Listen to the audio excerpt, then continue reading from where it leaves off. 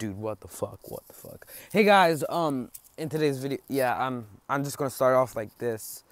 I saw something over there, and all right, so I'll explain this. My house is right there. There's this thing, the sign down there uh, down my driveway that says closed, and it leads to this thing. And I just saw somebody on here, and I don't know. It could have been one of the branches, and I thought it was a person, or it could have been a person, or because I th- I think there's like this one person that's allowed to hunt down there, but he shouldn't be hunting up there, dude. And it's like, I don't know. People go down here sometimes, but dude, what the heck? I just recording this video to see if we could see anything. So it was like down there. Dude, this is creepy. Wow. Wait. All right, I'm gonna set up a camera angle, and oh my gosh. All right, I'll show you where I saw it. dang it. All right, I don't know. Could have been nothing. Could have been one of the branches, dude. But dude, that's freaking crazy. Oh, this tree has a bullet hole in it. All right. Hey guys. Um, so in today's video, what's up, Chuck?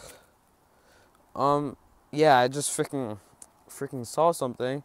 I don't know. It could have been Wendy, Wendy's branches, but, dude, I don't know. I'm like, like if I see something that looks like a human, even if I just look out the corner of my eye and I see something, I always think of ghosts. And it's October, you know, almost Halloween. So. Yeah, creeped out. I don't know.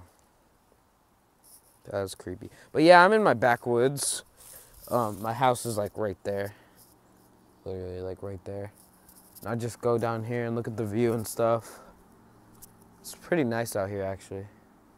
But dude, that was freaking creepy. Dude, what is that? Is that a branch?